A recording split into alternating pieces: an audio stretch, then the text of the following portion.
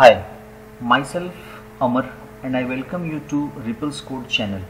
Now in this video I will discuss another type of menu in Prime Faces which is called as the tab menu.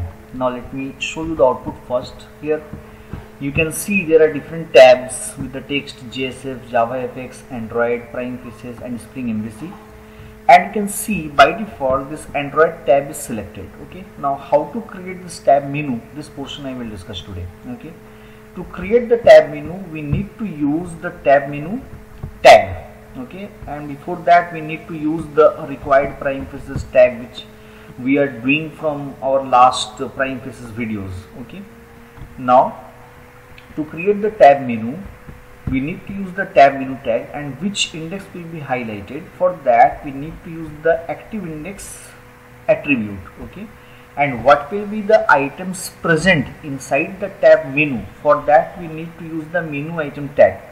Now you can see here I have used 1 2 3 4 5 menu tags with the value JSF JavaFX Android Prime Faces and Spring MVC now for the first case and and for all the cases in the outcome attribute I have written I have written slash outcome slash hello. What is this if you don't know about this outcome attribute then you can refer my JSF videos okay?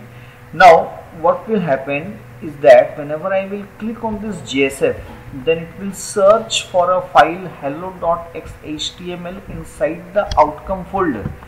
Now you can see in the project I have created an outcome folder and inside this outcome folder I have created a page hello.xhtml and inside this page I have simply written a message hello. Okay? This means whenever I will click on this JSF then this hello.xhtml page will open. And for the remaining cases I have done the same thing. Okay? This means if I click on JSF then you can see hello message is getting printed. Similarly if I click on Android this hello message will be printed. Okay? Now here you can see the active index I have written 2 by default the index starts with 0 that's why 0 1 2 Android is highlighted. Let me change it to 3 let me save this. Let me uh, refresh this. Then you can see the prime faces is now highlighted. Okay?